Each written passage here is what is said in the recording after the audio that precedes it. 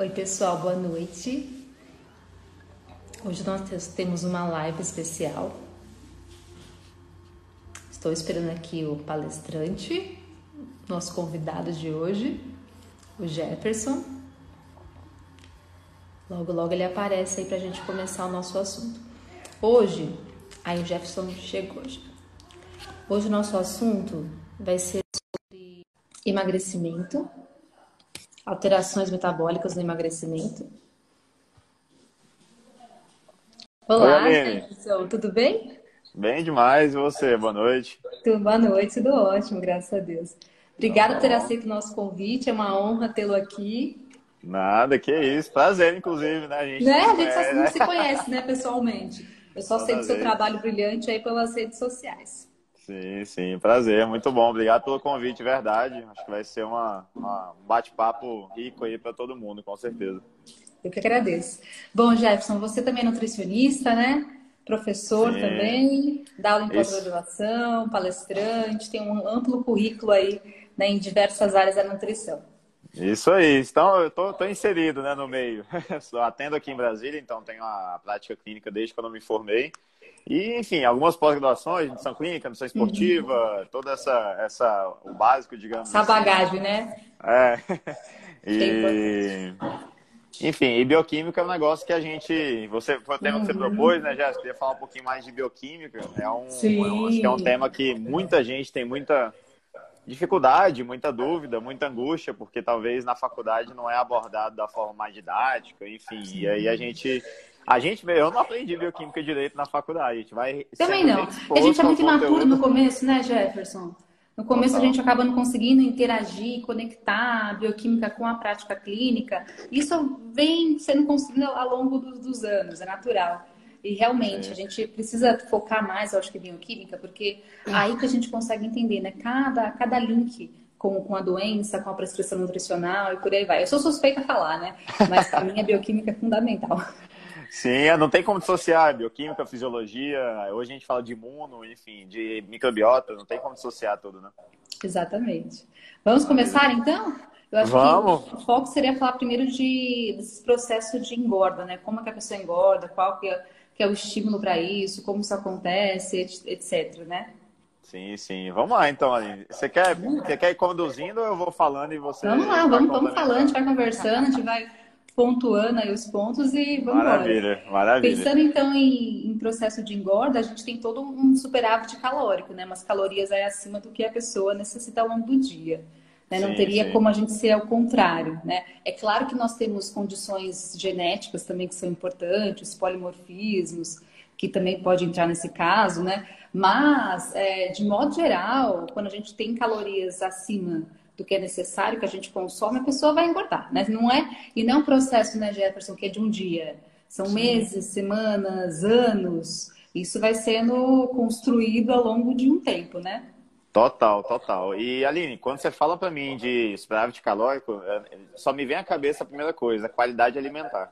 Então, porque quando a gente fala de superávit calórico, a gente está quase que naturalmente falando de industrializados, de ultraprocessado, etc. Porque comendo comida de verdade, no alimento que a gente fala, é muito difícil ter superávit calórico, né? De forma natural, digamos assim. E, e aí, assim, começando a conectar, eu, eu particularmente eu tenho muita dificuldade de só ficar em bioquímica. Então a gente fala de fisiologia, claro. fala de, de tudo, né? Sempre, né? Sempre estão é... conectadas. Sim. E começando, eu acho que eu também gosto sempre de dar uma pincelada em como a, o intestino mexe nisso tudo. Tem um, um, ponto que eu acho que é, é, sensacional, porque se a gente pensa na qualidade alimentar, e a gente pensa nessa qualidade alimentar, além de, do superávit calórico impactando esse organismo de forma crônica, só da escolha alimentar errada, de comer mais industrializado, já tem alterações, eu diria agudas, porque elas acontecem com dois, três dias na microbiota.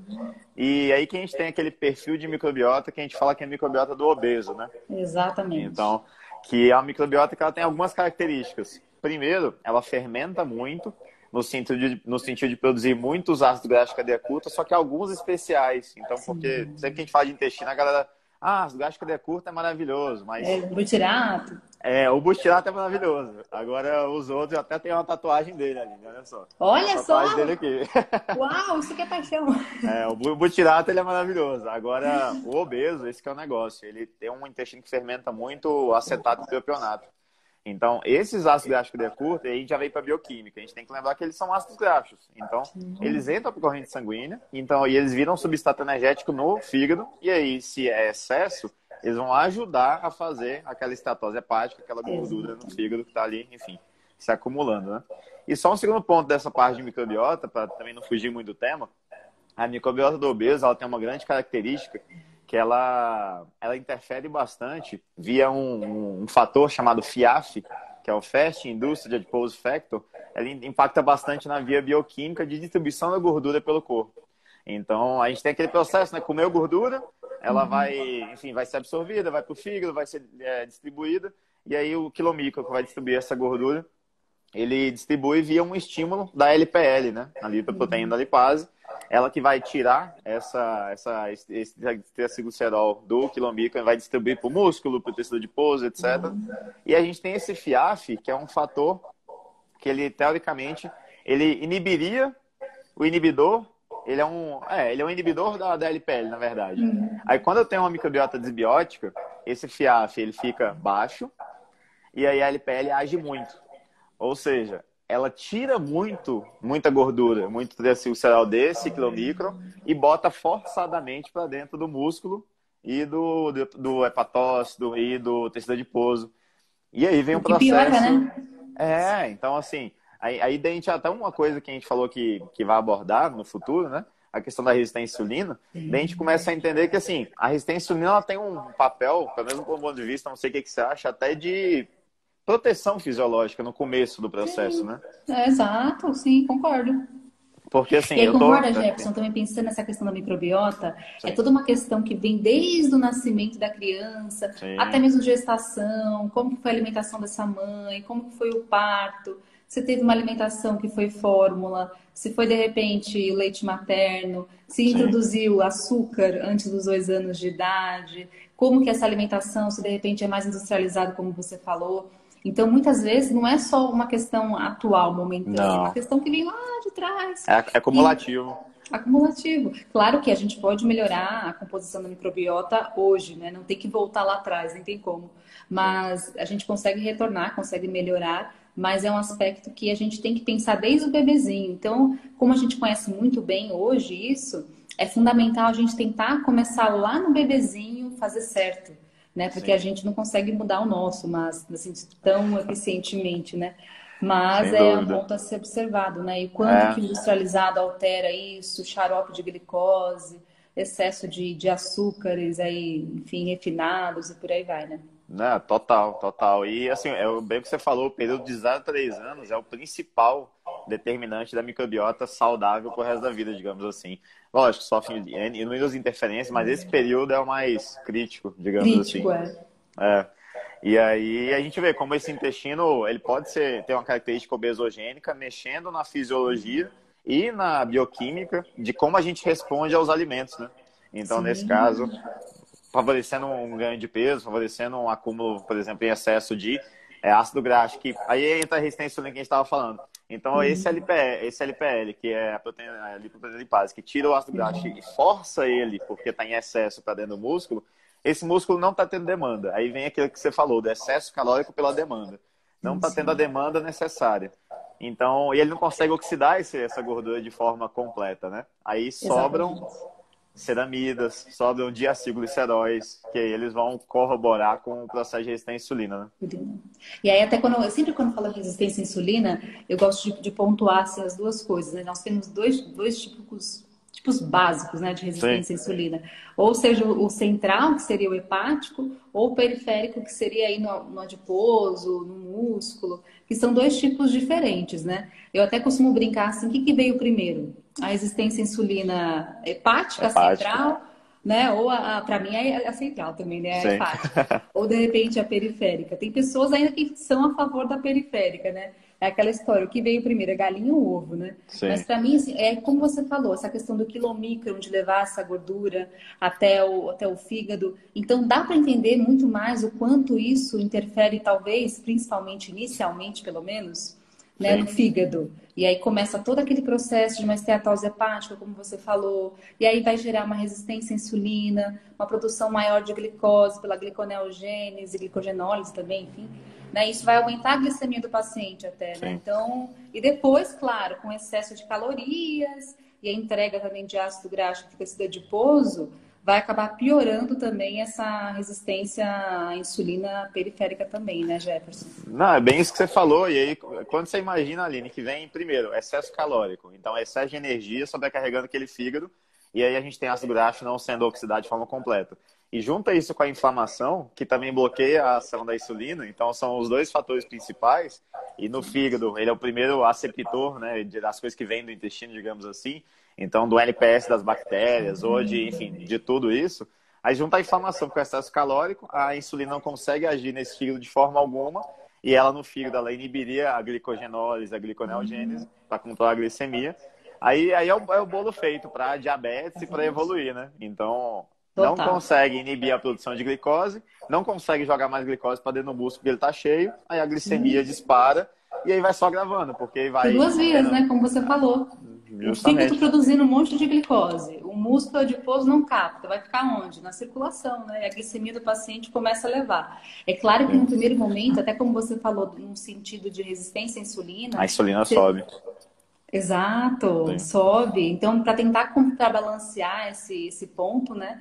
A insulina sobe para tentar vencer essa resistência à insulina, mas chega uma hora que não dá conta, né? O pâncreas não consegue mais superproduzir essa insulina. E a pessoa, infelizmente, acaba ficando aí diabética. Claro que não é do dia para a noite, é um processo crônico. Um processo... Hum. Se de repente a pessoa descobriu essa resistência à insulina e ela de repente fez emagrecimento, uma dieta completa, exercício físico, isso pode ser revertido, né, gente? Nossa, total. Tranquilamente. Total. Mas se continuar assim, é aquela tirinha, né? O povo fala assim, o médico fala, então, fulano, você tem uma doença, é, assim, assim, assado, mas tem que mudar estilo de vida para ficar, para melhorar. E, nossa, então eu vou morrer. É assim né?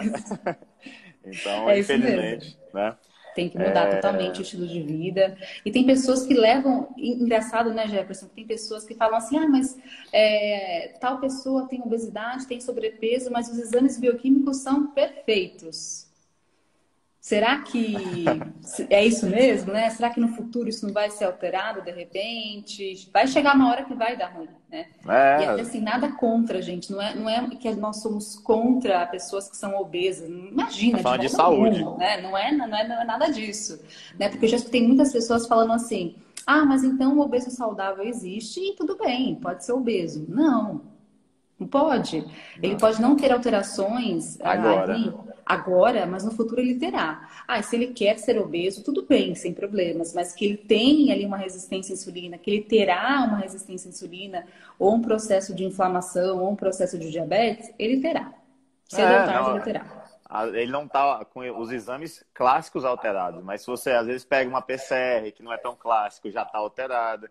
É, até um exame, eu não sei se. É, porque eu gosto muito dele para ver essa questão de resistência à insulina central que você falou, começando a nível de fígado, que é o índice Matsuda. Já ouviu falar dele? Não, esse não. Pois é, olha que interessante. É, vamos fazer o nosso bate-papo.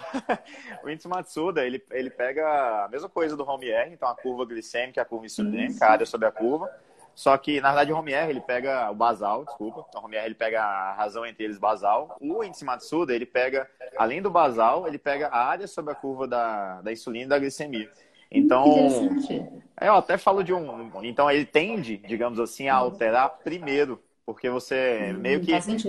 É um paralelo que eu falo para explicar para a galera, é como se assim, eu tenho um carro e eu quero testar o amortecedor do carro. Uhum. Eu não vou testar num, numa pista plana. Sim. Que é, por exemplo, na, quando eu estou em jejum 12 horas, eu estou no plano, eu estou sem, né? Eu estou ali no meu, na minha homeostase. Aí eu vou lá e dou um desafio, que é a mesma coisa para o carro botar um buraco para testar esse, esse amortecedor. Eu dou um desafio, dou a, a glicose 75 gramas e vejo como é que como responde. Então Exato. parece, esse índice é interessante, parece que ele altera primeiro do que o home air, do que a insulina, enfim. Então é algo que eu acho Olha bem... que interessante, muito é. bom. E dá para fazer. E aí, de repente, assim. no sistema público de saúde, vai pedir o quê? Glicemia e só, às vezes, né? Então fica é. difícil mesmo de Sim. conseguir avaliar essa pessoa com um exame. Sem dúvida, sem dúvida. Então, caminhando, né? A gente falou do, é, dessa questão do superávit calórico, que é, é, é, fato que vai ter essa, vai gerar esse, esse quadro de ganho de peso e tudo mais, junto com a questão inflamatória que corrobora para que, que a célula não consiga é, oxidar tudo isso de forma adequada. E ainda, ali, mais uma vez, não consegue dissociar as coisas. Quando a gente fala de um padrão alimentar de muito industrializado, ele normalmente é carente em nutrientes, vitaminas, minerais, etc. Perfeito, não é né? exatamente.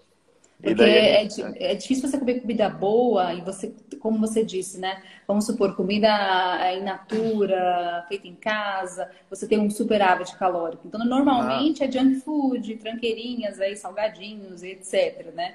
E aí, realmente, ah. a quantidade de vitaminas e minerais é baixíssima. Justamente. Ah, o sódio, né? O sódio é um mineral. É, é tem as exceções, né? Mas Aí quando você pensa nisso, por que, que me veio isso à cabeça? Porque toda a, a cascata de utilização desses substratos energéticos uhum. para realmente virar ATP e tudo mais, depende de micronutriente. Então, uhum. né, se a gente pega um paciente com uma anemia, se a gente pega um paciente que é, é clássico também, hoje a gente tem até anemia da obesidade, né? Enfim, Sim, processo inflamatório, super. né? Então, a gente pega falta de ferro, a gente pega, enfim, falta Vitamina de complexo B, B é, de um Vitamina geral. D além dele comer muito e estar tá inflamado, a energia que vem ele não consegue utilizar, ele não consegue levar para mitocôndria, tem disfunção mitocondrial porque normalmente é sedentário, falta coenzima Q10, falta tudo. E aí ele não consegue utilizar, aí vai só estocando, só estocando, Exato. só estocando, vai indo para a válvula de escape, que é o tecido adiposo, né? Cada vez mais. Isso muitas vezes são anos, né, Jefferson? Anos Sim. e anos de uma alimentação inadequada, que realmente acaba, infelizmente, levando aí ao sobrepeso, à obesidade, como você disse, né, resistência à insulina, etc. Então, é. nesse caso, a gente tem uma lipogênese, né? Então, eu vou ter um aumento aí desse tecido adiposo, de modo geral, é, em lugares, vamos dizer assim, naturais, que seria o tecido adiposo, ou em lugar, lugares ectópicos, né? Que são fora do adiposo, que seria até pior até, se a gente for pensar de fato, né? É, uhum. No fígado, de repente, como você bem pontuou, e até em outros locais é que não seria tão interessante a deposição a, dessa gordura. Até no músculo, né? A gente tem infiltração mais de gordura no tecido muscular e que atrapalha o funcionamento desse músculo. Sim. Então sempre vai ser ruim, né? Esse excesso de, de, de gordura. E aí tem dois é. pontos, né? Tem a hipertrofia, não é muscular, né? Mas dessa célula adiposa. É bom pontuar, né? E a hiperplasia, né? Então a gente vai ter o número de células aumentadas e o número do tamanho também dessa célula que vai ser aumentado também, né? Então o adipócito aumenta de tamanho e de número também. Isso é. E ali, isso é muito importante porque acontece hiperplasia e hipertrofia, que a hipertrofia consiga reverter quando ele emagrece, a hiperplasia não. Então o número de adipócitos ele fica ali. E por isso que Exatamente. é mais uma coisa que favorece para o efeito sanfona, né? Total. Ele está prontinho, ele está quietinho o seu adipócito, mas você bobeou, pronto. Sim. Ele volta, ele enche de novo, né? Então, complica. É, fica mais. Enfim, fica mais suscetível, né? Fica mais difícil, exatamente, com certeza. Sim. Bom, então falamos já dessa questão de, de ganho, né, de, de, peso, como que acontece, uhum. da resistência à insulina. E lembrando que resistência à insulina, como a gente comentou, é, pensando na resistência à insulina periférica, a gente tem o ponto da, da não captação de glicose, até mesmo por não ter uma sinalização do GLUT4 eficaz nesse ponto, né? Sim. Já a central seria uma questão aí nas vias da produção de glicose, gliconeogênese principalmente, que vai estar exacerbada. E Aline, eu gosto, assim, a insulina não tem como falar do processo de ganho de peso e de emagrecimento sem falar dela, porque ela é um ponto central né, no processo. É, eu gosto muito de ressaltar também o papel dela no cérebro, que inclusive é gerar saciedade, esse é um dos Sim. grandes papéis dela. E aí Boa. você imagina esse paciente que está ganhando peso, que está desenvolvendo resistência à insulina, ele vai perdendo o controle da saciedade, não só via leptina, mas via também a ação da insulina no cérebro.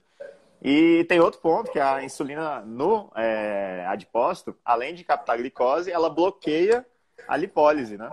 Então, se, ela, se esse adipócito está resistente à insulina, além dele, às vezes, ele, só que assim, ele até capta, ele continua captando, né? Isso. É, é, um processo diferente. Mas ele não tem o bloqueio adequado da lipose. Então ele continua liberando ácido graxo e aí a gente pega aquele paciente com a glicemia alta e com ácido graxo alto. Então o sangue dele tá, tá, entupido de substrato energético. Né? E aí que é o perigo desse paciente, de repente, ter um, uma exacerbação para um infarto, uma embolia pulmonar, um AVC e por aí vai, né? Sim. o excesso desse ácido graxo na circulação também não seria algo interessante, né? É, ele fica e é até é com sangue isso... viscoso, né?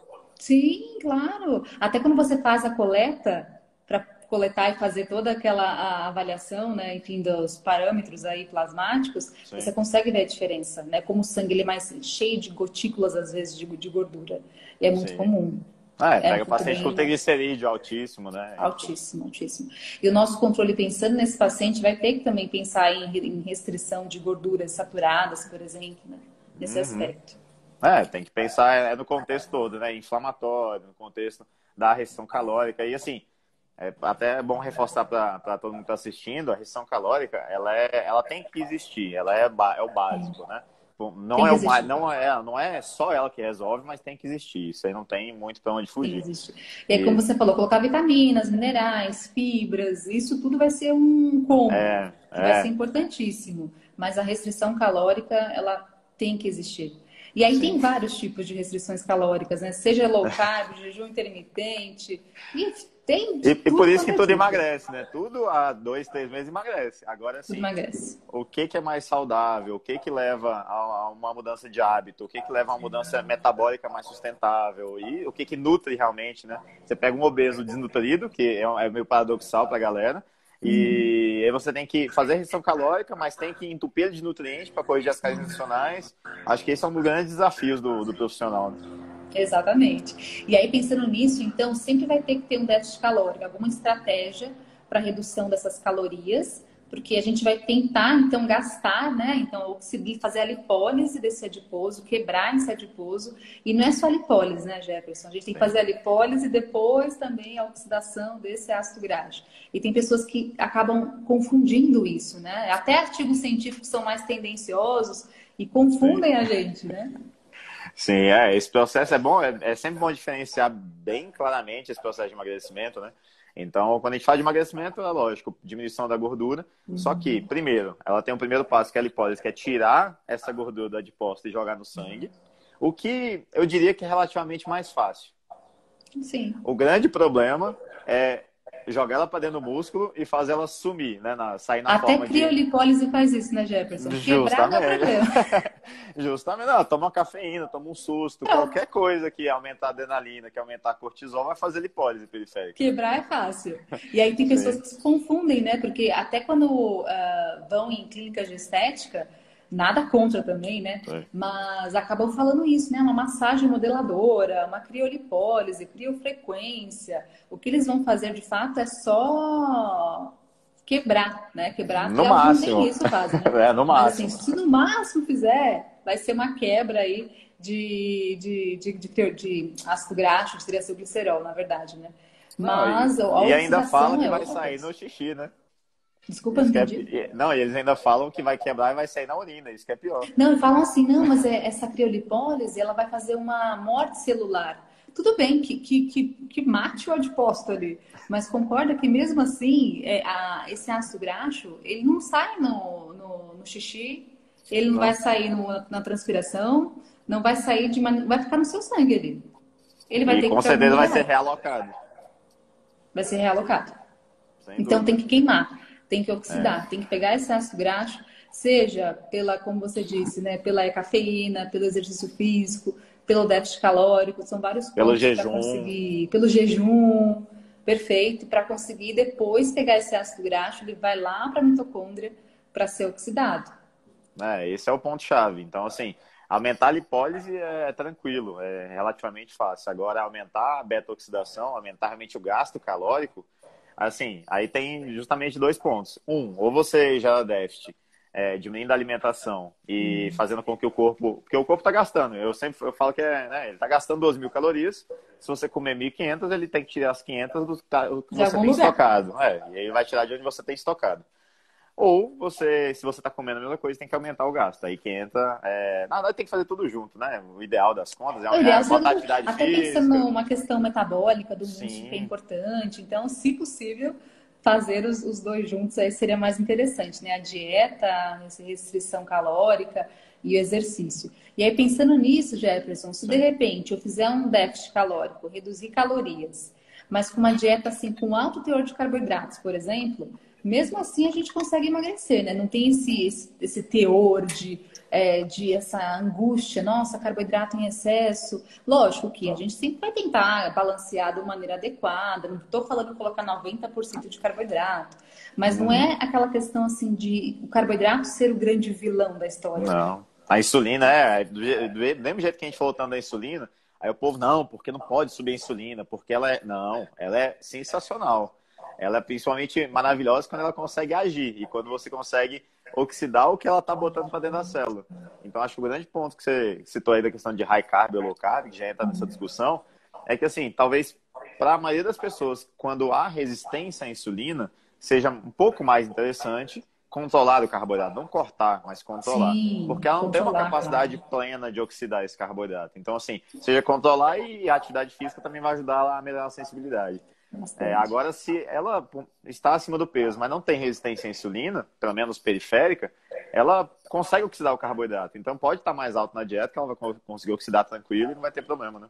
Exatamente. Não tem que ser no carb, né? Dieta cetogênica, não. tem necessidade disso. A gente consegue controlar, claro.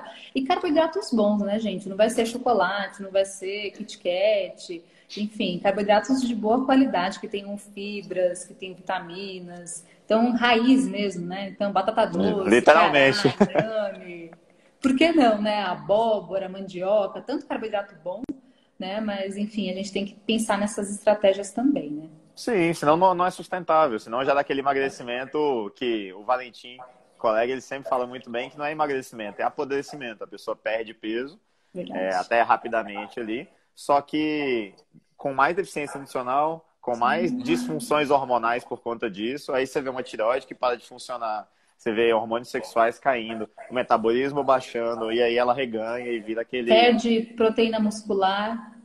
Sim. E aí fica cada vez mais difícil da pessoa conseguir recuperar essa proteína muscular, baixa o gasto, gasto basal, então é, é complicado mesmo, tem razão. Sim, então assim, é, a gente tem que lembrar que comida é muito além de macronutriente, né? Então a galera ah, vou comer o carboidrato tal. Você vai comer comida, alimento. Aí lá tem carboidrato, mas tem vitamina, tem fibra, tem compostos bioativos. E tudo isso é que vai corroborar com o emagrecimento. Por isso que a gente começou falando de intestino, né? De inflamação, de tudo isso, né? E não quer dizer que é microbi... aquela microbiota do magro, né? Que a gente escutou a falar. Não é isso, hein, gente? Não vai me confundir as coisas. Não, pelo amor de Deus. Credo. Não tem nada a ver. Não, é outra história, né? A gente tem como melhorar essa microbiota, mas de maneiras muito melhores, né, em relação a isso. Sim, Perguntaram sim. aqui, Jefferson, até é, passou aqui uma, uma, uma, perguntinha que eu achei interessante, uhum. em relação à, à questão da, do consumo de, de, lipídios em excesso. A gente falou do carboidrato já, né? Mas em relação a proteínas e a lipídios. É, a gente uhum. sabe que tudo que for em superávit pode gerar um excesso de peso, e aí nós temos alguns aminoácidos que podem ser convertidos em acetil-CoA, que podem virar gordura. Mas já foi estudado em algumas, é bem curioso isso até, né? Já foi Sim. estudado em alguns trabalhos, né, que você colocou lá 400 calorias a mais, 500 calorias a mais do que é necessário com proteína e a pessoa não engorda, né? Sim. Então tem esse ponto também. A proteína pode gerar gordura? Sim, mas é talvez não tanto. É mais difícil. Sim, sim. Ela tem todo um fator térmico, né? Então, é, por mais que você coma, ela demanda mais energia para ser metabolizada. É, o corpo tem, tem vias de excreção ali da, do excesso proteico mais fácil, né? Enfim, via uhum. urina e tudo mais. Então, assim, é bem mais difícil, é bem mais difícil. Você não pega pessoas engordando, ganhando peso, nem porque comeu muita fruta, a gente já fala da frutose, e nem é. porque está comendo muita proteína. Mas, assim, e dá saciedade ah, demais, né? Não tem como é... você comer muita proteína que dá muita saciedade. Justamente. E acaba que você não consegue. Proteína é de boa qualidade. Sim. Fica difícil mesmo, né? Sim, e aí, por isso ela... que é interessante colocar proteína na dieta da pessoa que quer emagrecer. Vai dar saciedade, efeito térmico, ajuda na construção muscular associada a um treino de, enfim, de, de força.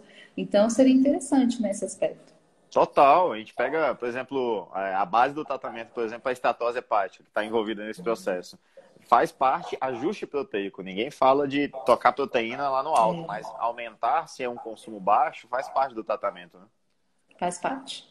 É importante. Então, é, exatamente, não é também, esse é um ponto importante que você falou, não é colocar proteína em alto, em 3 gramas por quilo. 3 gramas de proteína por quilo de peso. Uma que vai levar também a desbiose, que é um assunto que você falou lá no começo. Sim. Também não seria interessante, né? É, ah. E a gente não vai conseguir é, oxidar essa, essa proteína. Tudo que foi em excesso vai virar ureia ou, de repente, em excesso aí, em superávit calórico, um pouco pode virar, pode virar gordura, né? Não, e ela não vem sozinha, né? A pessoa não come proteína, ela come carne. Então vem a gordura da carne junto, vem toda a, a, a questão, né? Que, enfim, vem a caloria a mais, enfim. Aí vem no, no, no contexto que a gente no já estava falando. Né? É, vem o combo. É isso mesmo. vamos falar um pouquinho de lipólise, então? Vamos embora. Show. Depois a gente vai para a beta-oxidação e aí vai, vai indo e voltando, né? Vamos voltando, é um bate-papo assim mesmo. Show. Então, assim, sobre o processo de lipólise, é bom reforçar os hormônios que são necessários, que estimulam esse processo.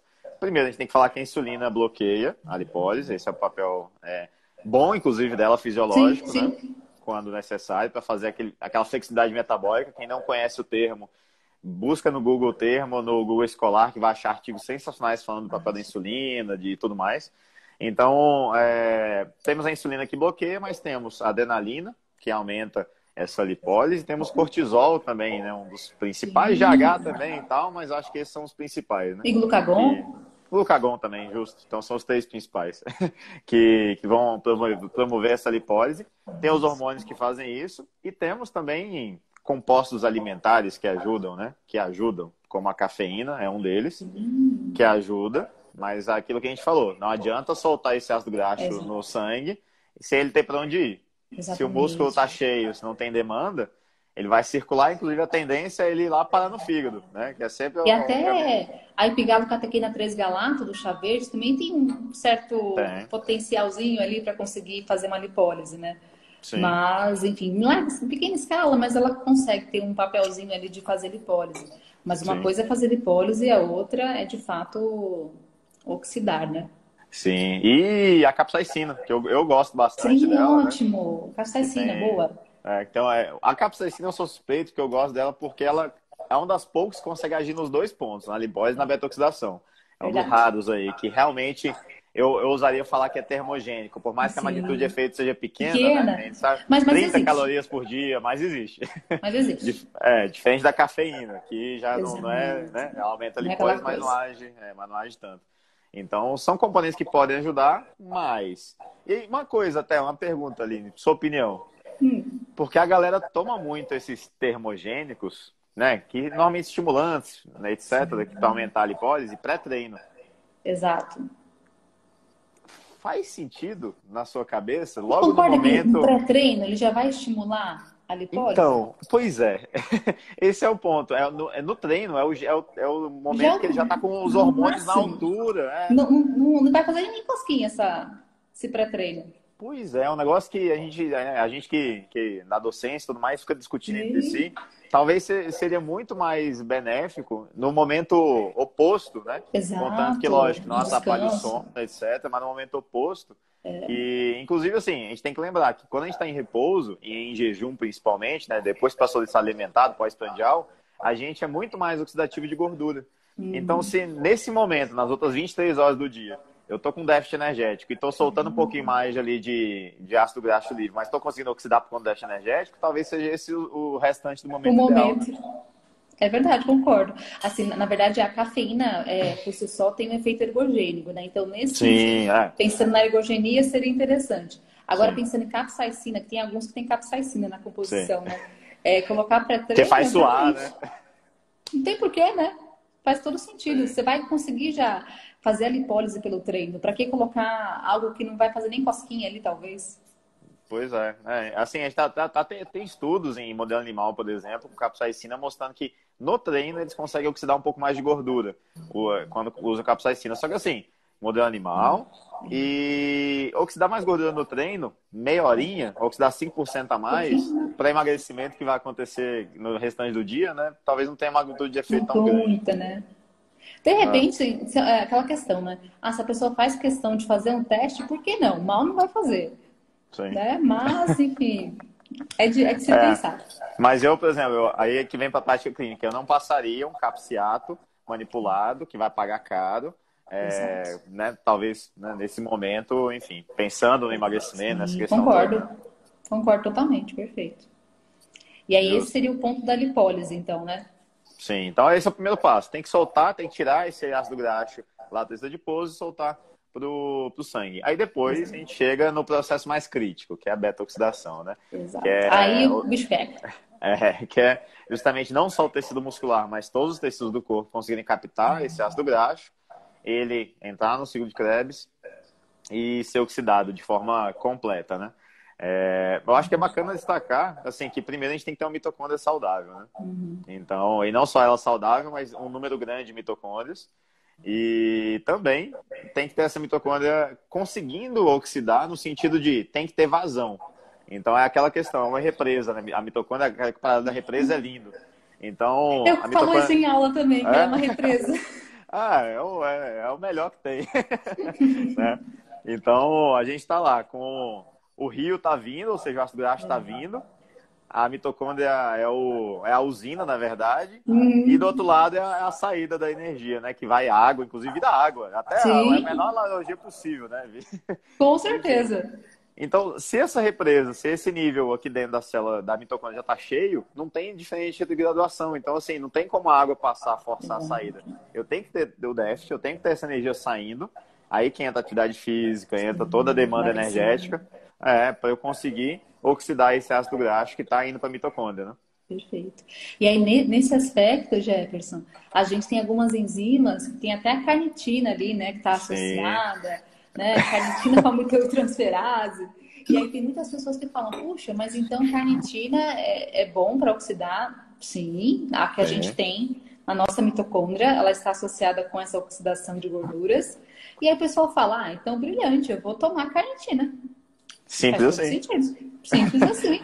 Simples assim, né? Aí tem que combinar os dois, ó. Tem que fazer o raciocínio. A pessoa não está fazendo raciocínio, ela tem que juntar um que faz lipólise e juntar um que tenha a carnitina para aumentar a quebra e, a, e, jogar e forçar para dentro da mitocôndria. é isso mesmo. E é. na verdade não tem, não tem como a gente ingerir né, uma, uma carnitina e essa carnitina que estava lá no potinho de suplemento, ele lá entrar na sua mitocôndria. Esse que é o problema. A gente Sim. não consegue fazer isso, né? Sim.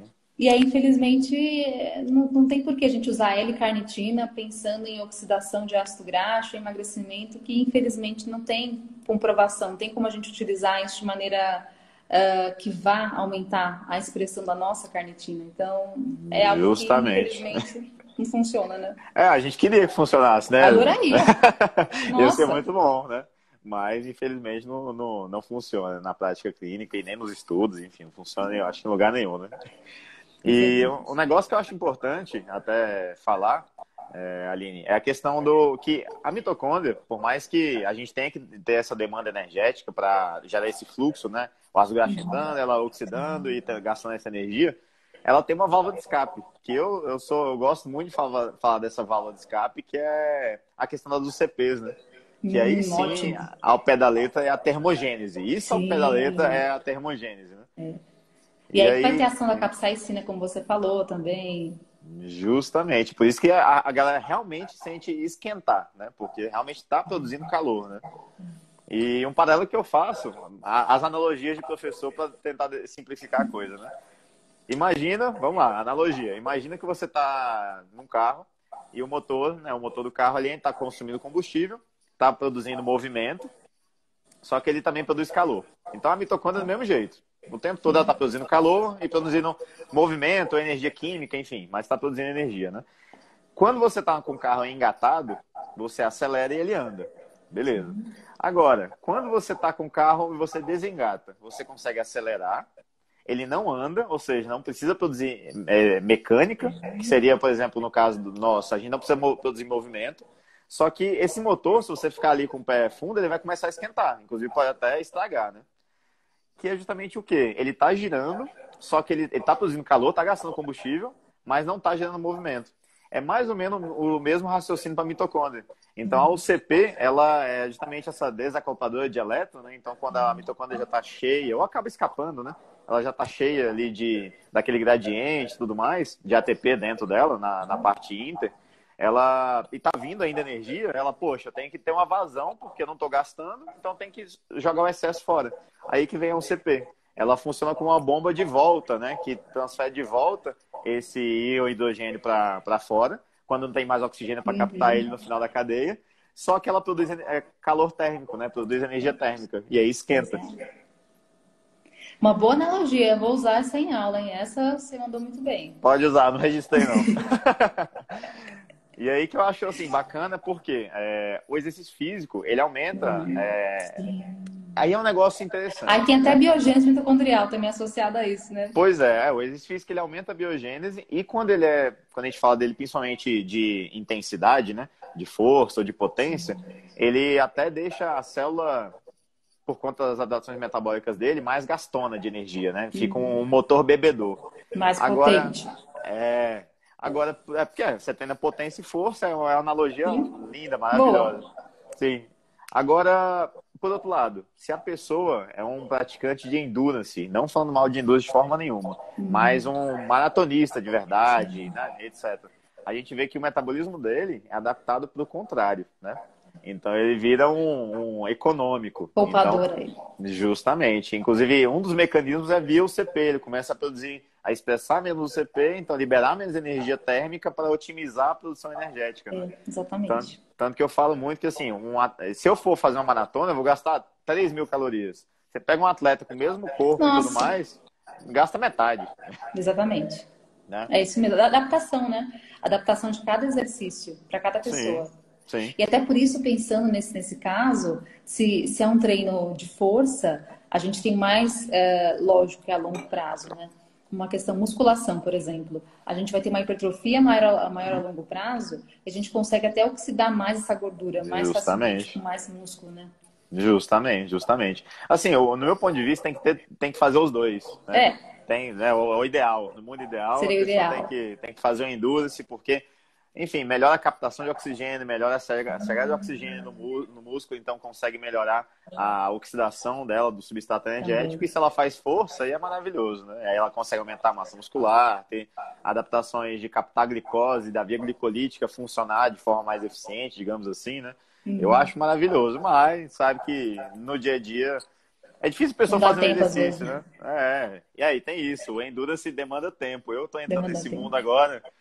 É, é. Eu, eu, saí da musculação e tô indo agora para endurance, cara. É treino, né, são 11 horas de treino por semana, 15 Nossa, horas de treino por semana. É, aí tem que botar podcast, tem que escutar live, tem que utilizar o tempo, porque senão. Tem que ser, senão não dá tempo.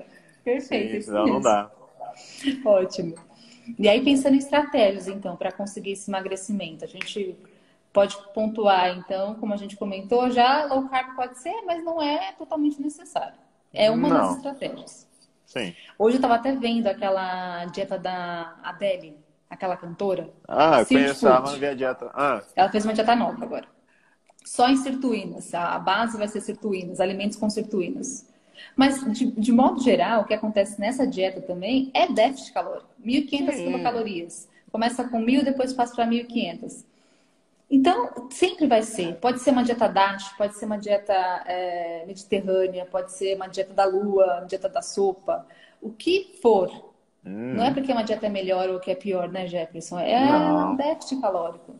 Sim. E aí cada aí um é... se adapta melhor a uma, a uma delas. Justamente. E assim, acho que o nosso papel como nutricionista é adequar melhor aquele paciente e que ela seja saudável. Porque, assim, na dieta, tem dieta do passarinho, tem dieta da Bíblia, tem dieta da sopa, tem. Tudo emagrece. E às vezes ele se adequa, tem paciente que se adequa. Ele, ah, fiz Sim. Atkins e emagreci. Só que não é sustentável e gera aquela, aquele, aquele apodrecimento, né? Aquele emagrecimento é, é, adequado, né? Gera o apodrecimento e aí ela reganha. E aí vem todo o processo, né? É igual jejum intermitente também. Algumas pessoas, lógico, se adaptam bem, mas a grande maioria não consegue levar isso a longo prazo. Ele é muito insustentável. Você ficar Sim. 16 horas em jejum, é, aí complica bastante, né? Então, algumas pessoas conseguem, mas algumas pessoas de larga escala desistem aí é, em prazos mais curtos, né? Porque realmente é algo mais difícil de ser Sim. conquistado. Sim, é, vai muito do, do, perfil de cada um, da atividade do dia a dia, de, de muita coisa, da relação com a comida. É, Exato. eu vejo que muita gente que, quando é, é, tem muita afeição, né, tem muita relação afetiva com a comida, é mais difícil fazer jejum quando a pessoa já, não, eu como para sobreviver, aí é mais fácil. Mais fácil. Vai Compulsão alimentar um. tem que ser investigado, como é o comportamento dessa pessoa, questões psicológicas. Então é, é algo a ser investigado, não é uma dieta que vai ser perfeita. Não, pra... não ah, a dieta que meu vizinho faz vai ser boa para mim também. É algo que a gente tem que avaliar, né? Por isso que é importante o nosso papel como nutricionista. Né? A gente, eu falo que o nosso papel é, é enfim, é captar os dados do paciente, processar esses dados e oferecer para ele o melhor. Né? A gente vai fazer essa combinação e oferecer para ele, ou pelo menos o melhor, ou pelo menos a gente vai tentar o melhor e vai ajustando até achar o melhor para ele, né? Sim, então tem sempre esse processo de ajuste, né? E um ponto importante que eu acho que vale a pena a gente falar hoje, um pouquinho, Aline, é a questão da crononutrição, né? Que a gente sabe que ah, o timing das refeições, não necessariamente, a gente sabe já aquela questão de três refeições, seis refeições, não muda muita coisa em metabolismo, né? Então não tem que comer de três, três horas e tal. Mas a gente sabe que a gente tem ciclos hormonais ao longo do dia e que, às vezes, casar a alimentação com esses ciclos pode ser benéfico para o emagrecimento, inclusive, né? Sim, então, com certeza aproveitar um momento que a gente oxide melhor o carboidrato e mais energia, por exemplo, pela manhã.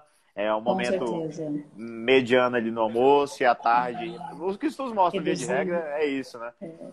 É aquela antiga história, né? Você tem que. Muita gente fala isso há muito tempo, né? Você tem que é, tomar o café da manhã como um rei, e aí você vai. Mais ou menos isso, de modo, de modo bem, né, bem superficial. Sim. Mas realmente tentar, depois das 8 horas da noite ali, baixar bem ou nada, de repente, de consumo alimentar, pensando nessa secreção pulsátil aí dos hormônios. Né?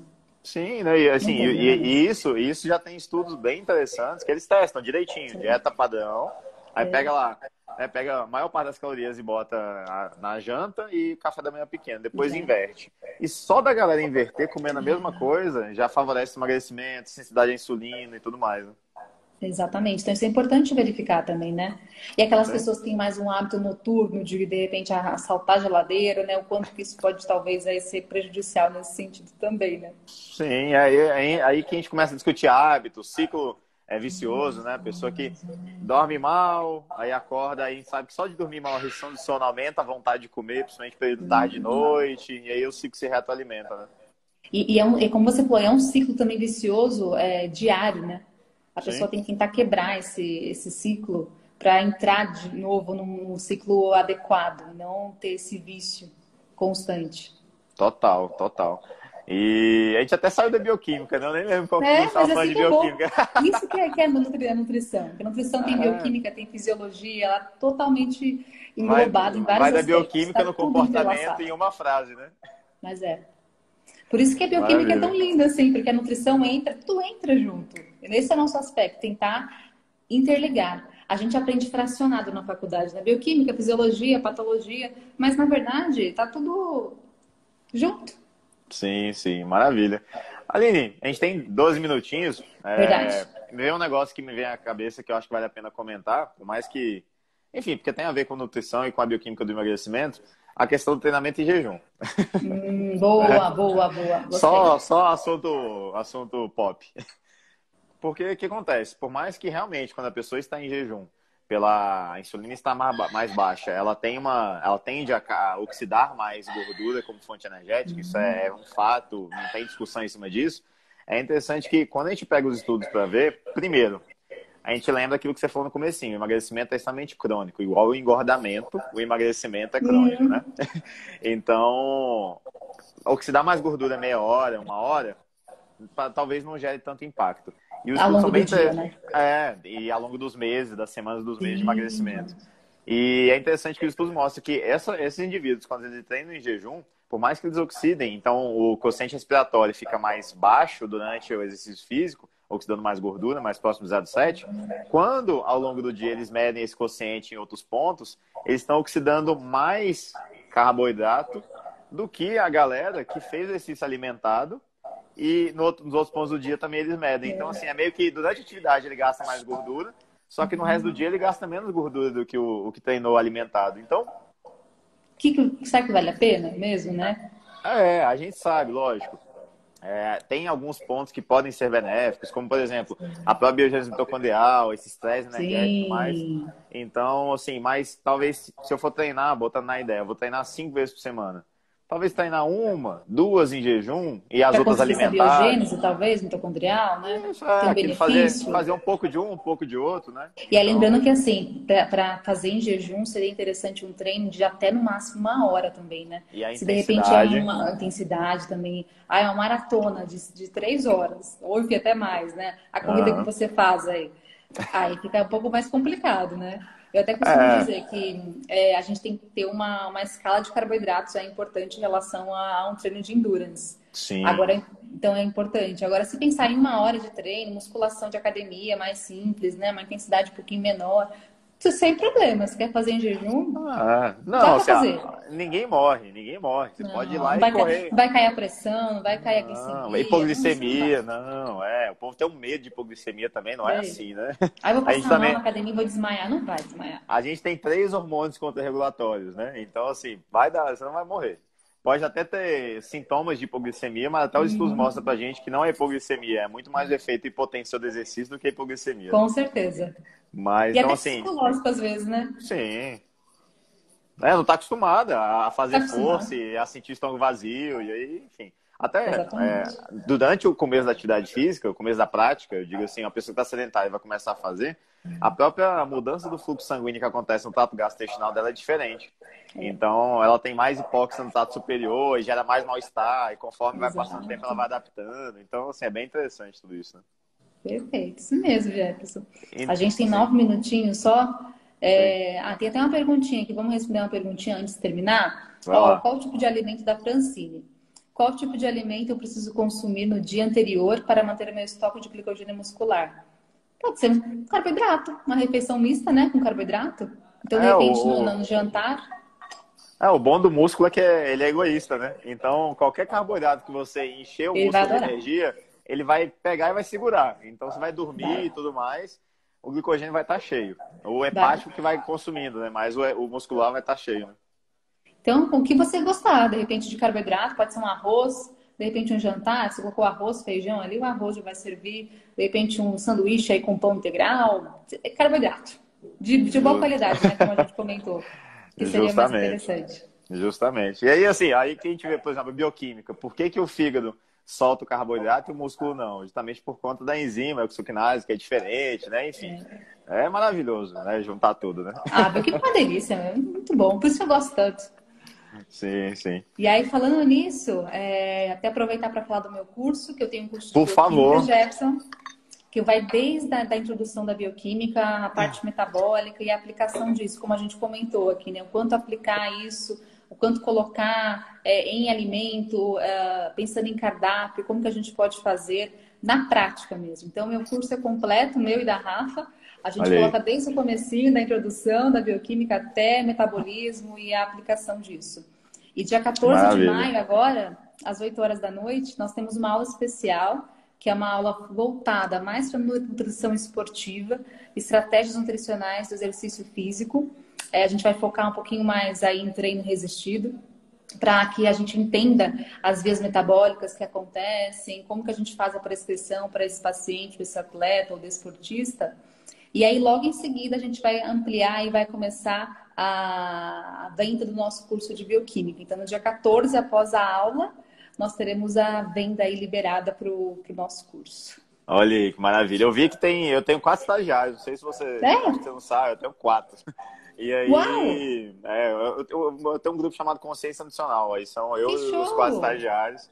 E são quase mentorados, digamos assim. Eu vi que alguns estão aqui e pode ter certeza que eles vão fazer, viu? Que eu vou botar Que gracinha! Você tem Instagram, alguma coisa desse, desse, desse local tem, que você falou? Tem, tem. Então, anota aí, coloca no comentário pra ah, gente, pra gente conseguir... A, a, Instagram, Consciência Nutricional. Vou colocar ah, aqui. que show! A gente. Coisa boa, assim, é sempre a gente, bom a gente divulgar, né? Porque conhecimento sempre. bom a gente, a gente multiplica. Sempre, sempre. Lá a gente tá o tempo todo a gente tem encontros semanais, aí tem discussão de artigo, produção de conteúdo, Uau. enfim. Agora, Parabéns. inclusive, é, essas lives que eu tenho feito, as outras diversas e tudo mais, aí eu tenho transformado no podcast. Então, não sei Uau, se. Uau, gente, olha que show! É, olha só. Porque, eu, Aline, eu ficava com peso na consciência. A gente passa aqui uma hora falando, às vezes, coisa tão interessante, vem uns insights, uns raciocínios que eu Concordo. nunca tinha tido. E aí perde, passa 24 horas no Instagram e some. Que maravilha, ah. gente. Show de bola. Aí. Vou seguir também. Adorei esse trabalho. Por favor, vou, deixa eu colocar aqui, ó. Nutrition Cast. É, tá aqui, aí... a consciência nutricional, né? Aí o podcast é o Nutrition Cast. Aí tem no que Spotify, show. no Deezer, tá pra todo lado. Maravilha, coloca aí pra gente. Tudo de graça, não paga nada, aí só é? dinheiro pra pagar o curso que precisa, né? Bom, não, com certeza. Que é importante. Mas muito bom, Jefferson. Você é excelente. Que isso, eu agradeço, Aline. Tem alguma coisa que você queria discutir aí? Eu não sei. Ah, tá a gente bom. tem cinco minutos, gente. Alguém quer, quer uma pergunta? Alguém quer falar alguma coisa? Se alguém mandar alguma pergunta agora aí, a gente responde. Agora e é, Eu tenho déficit de atenção, não consigo ficar lendo as perguntas e falando. Consigo. Então, eu. Eu falo, depois ver a questão das perguntas. Mas... que adoram seus podcasts, suas lives, realmente você é ótimo, adorei. Aí, galera, tamo junto, obrigado. Isso é tudo para vocês, eu não ganho nem um centavo fazendo podcast, é tudo o benefício, é só Não é, mas é, a gente faz de, de, de, de, paixão mesmo, né? De, de tentar Total. ampliar isso. E o quanto que é importante você divulgar conhecimento para as pessoas terem esse conhecimento e todo mundo se ajuda, a gente vira uma rede de apoio. Ali, assim, é, aproveitando esse tempinho, já que a gente está nessa prosa, um dos grandes motivos que eh, me, me levaram a ser docente aí para esse campo é porque, por exemplo, eu vi que no consultório eu ia conseguir ajudar 20, 30, 40 pacientes no mês. E quando a gente pega os nossos estudos e a prática e consegue proliferar isso, é, a gente aumenta tanto a captação, né? Então, assim, a gente, você dá um curso, você capacita melhor, 100, 200, mil nutricionistas. Você está atingindo cada paciente daquele nutricionista de forma indireta. Então, assim, é maravilhoso o poder da nutrição sendo disseminado em forma escalável, né, digamos assim. Exato. Quantos pacientes serão ajudados assim? Sim. A gente acredita que é, que é apaixonado pela nutrição, né? Não, não, acho que não tem outra escapatória. Exatamente, perfeito. Né? Então é isso, Maravilha. Jefferson. Muito tá obrigada, fiquei muito feliz com a live, foi incrível. E em breve teremos outras. Irei te convidar de novo, você é excelente. Eu que agradeço, Aline. Um prazer enorme. É... Enfim, eu já, já te conhecia de rede social, muita gente falando bem do seu trabalho, as minhas da Lance falavam. Bonitinho. Nossa, que eu sou fã. Quando eu falei, quando viram a, a, a live, nossa, vou fazer live com a Aline. Ah, que Pois é, então assim, muito ah. Depois dessa quarentena é... a gente se conhece pessoalmente. Aí você vem para São Paulo, vou para Brasília, a gente faz o congresso junto. Pois é, quando acontece isso com os aglomerados para estudar, isso é bom, né? E eu sinto falta pra caramba. É, faz falta mesmo. Principalmente de conhecer, de trocar ideia com os profissionais. Né? Mas tá Mas ótimo, obrigado, obrigado, de verdade, viu?